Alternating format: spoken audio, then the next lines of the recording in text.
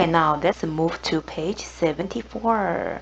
小朋友，我们接下来来进行呃今天课程最后一个小小的哈单元，就是在课本的七十四页，请翻到七十四页。好，那我们来看这个动画哈。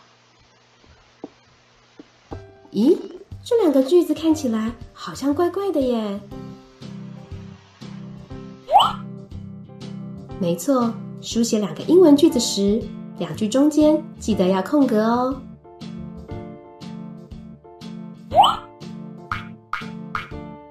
小朋友，书写英文句子时，记得第一句结束后要空格，再接着写下一句哦。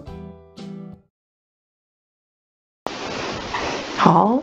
小朋友，我们在书写呃英语句子的时候呢，除了字跟字、单字跟单字之间，好像这个，好单字跟单字之间要空格之外呢，好，那这一句话结束了句号，然后你要写下一句的时候，记得也要空格。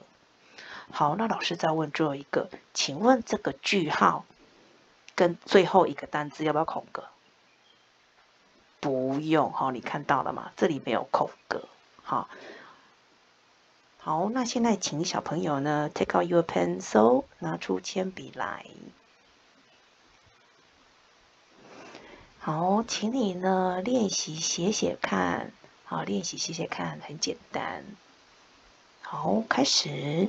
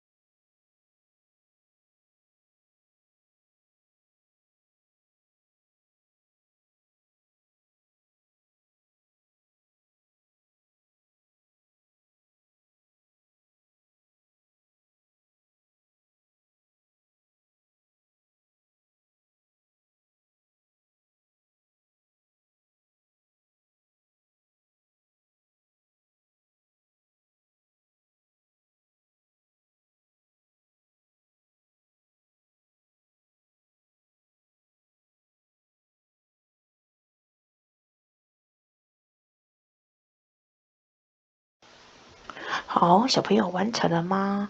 如果你还没有完成，那你就把老师这个教学影片先按暂停，然后你再把它写完。那写完之后再按播放。好，那现在呢？呃，老师呢？假设说你们都全部写完了，Let's check the answer 来对答案。好，第一题呢，虽然它已经有这个灰色的字出来了，你还是要描一遍，多做练习。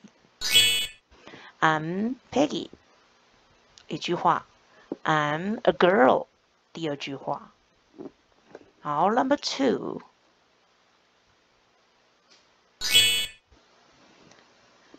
No, he isn't。这样子是一句话。第二句。He's a farmer。第二句是这样子。好，你全部都答对了吗？请你自己检查，你是不是字单字跟单字之间都空格？然后呢，第一句话，第一句话跟第二句话中间有没有空格？请你自己检查哦。好，那接下来呢，小朋友，我们的课到这边结束，不要忘了去做线上小考与签到，然后要告诉老师你未来想要当什么职业的人哦。